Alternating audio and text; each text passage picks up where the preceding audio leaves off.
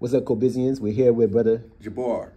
from the organization. I'm from Just Cities. All right, and what does Just Cities do? Well, Just Cities is consulting with the community of Richmond and bringing about new legislation to help the people, but we're also passing out information that has to do with homeowners and people who are facing eviction. Mm. If anyone is facing eviction or may need some resources about home ownership, Yep. this is the place to come down to CoBiz and get these brochures.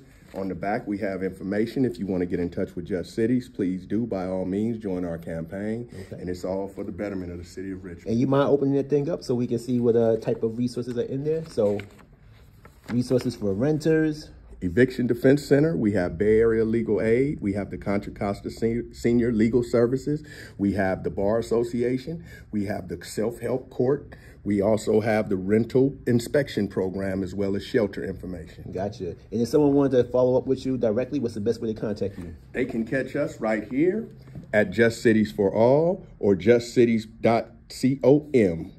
All right. We're in Berkeley. Yes, indeed. Thank you for taking the time to uh, share this information with us, and we hope you guys tap in. It's challenging times in the world, so definitely explore the resources that are available to help you and your family maintain that stability of a home. Thank you again for your time. Thank you.